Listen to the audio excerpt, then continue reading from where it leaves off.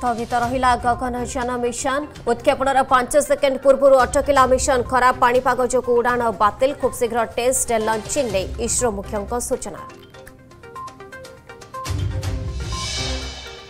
ଆଜି ଚାରିଦିନିଆ ଓଡ଼ିଶା ଗସ୍ତରେ ଆସୁଛନ୍ତି କେନ୍ଦ୍ରମନ୍ତ୍ରୀ ଧର୍ମେନ୍ଦ୍ର ପ୍ରଧାନ ଅନୁଗୁଳ ଢେଙ୍କାନାଳ ଓ ଦେବଗଡ଼ରେ ରହିଛି ବିଭିନ୍ନ କାର୍ଯ୍ୟକ୍ରମ ଆଜି ଅଙ୍ଗାରବନ୍ଧ ଅଲେଖ ମହିମା ଆଶ୍ରମ ଯାଇ ପୂଜ୍ୟ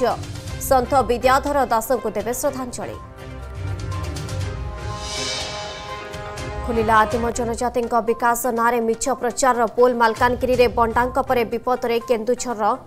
ଜୁଆଙ୍ଗ ଜନଜାତି ଅଜଣା ରୋଗ ନେଉଛି ଜୁଆଙ୍ଗ ଆଦିବାସୀଙ୍କ ଜୀବନ ମାସକ ଭିତରେ ଆଖି ବୁଝିଲେଣି ଏଗାର ଜୁଆଙ୍ଗଙ୍କ ମୃତ୍ୟୁ ପାଇଁ ଉତ୍ତରଦାୟୀ ହେବେ କି ରାଜ୍ୟ ସରକାର ରାଜ୍ୟରେ ପୁଣି ଗଡ଼ିଲା ବସ୍ ମୁଖ୍ୟମନ୍ତ୍ରୀ ଏବଂ ପରିବହନ ମନ୍ତ୍ରୀଙ୍କ ଅନୁରୋଧ ପରେ ଏକତିରିଶ ତାରିଖ ଯାଏଁ ବସ୍ ଧର୍ମଘଟ ସ୍ଥଗିତ ସାମ୍ବାଦିକ ସମ୍ମିଳନୀ କରି ସୂଚନା ଦେଲେ ସଂଘ ସମ୍ପାଦକ ବଙ୍ଗୋପସାଗରରେ ସୃଷ୍ଟି ହେଲା ଲଘୁଚାପ ଆଜି ଅବପାତର ରୂପ ନେବାର ସମ୍ଭାବନା ତେଇଶରୁ ପଚିଶ ଭିଜିବ ଉପକୂଳ ଓଡ଼ିଶା ଫିକା ପଡ଼ିବ ଦଶହରା ବାଇଶରୁ ଚବିଶ ତାରିଖ ଯାଏ ମତ୍ସ୍ୟଜୀବୀଙ୍କୁ ସମୁଦ୍ର ମନା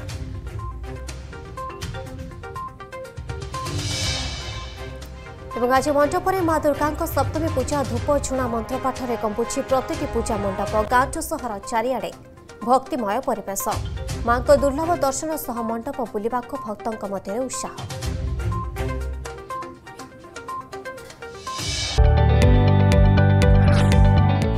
जदि आपण को आम भिडी भल लगा तेब आम चेल्क लाइक सेयार और सब्सक्राइब करने को जमा भी बुलां नहीं